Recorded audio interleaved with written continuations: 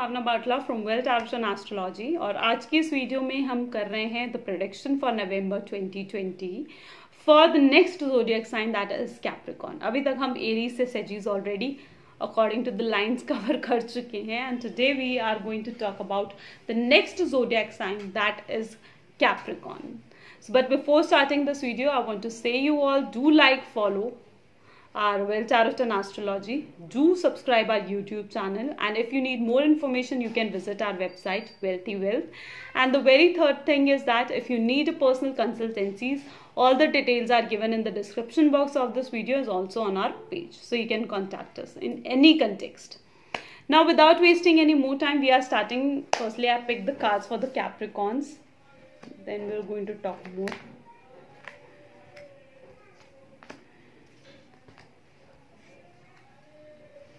okay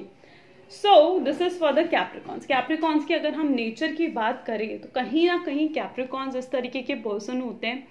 Uh, कि मतलब थोड़े ना वो बाउंड्रीज में रहना बहुत ज़्यादा पसंद करते हैं ठीक है और अगर वो बाउंड्रीज से बाहर जब तक नहीं निकलते ना उन्हें सक्सेस नहीं मिलती है तो थोड़े से उनके साथ ये चीज़ होती है कि वो बाउंडेशंस बहुत जल्दी फील कर लेते हैं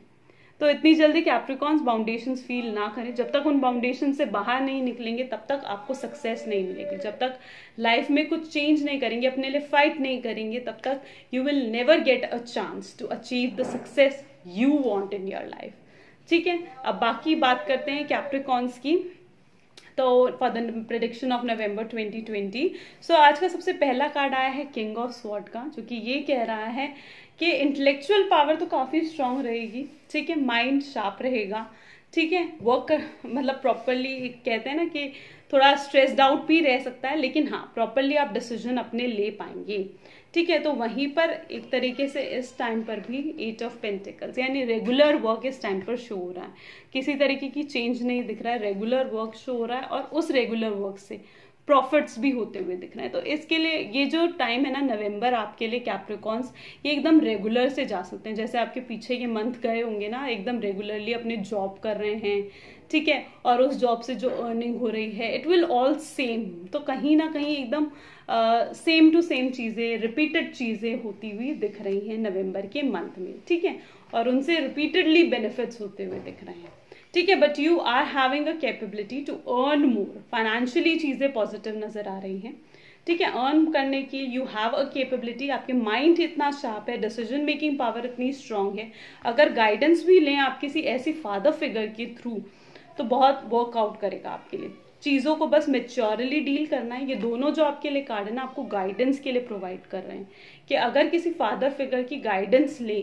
तो उससे सक्सेस अचीव कर सकते हैं आप ठीक है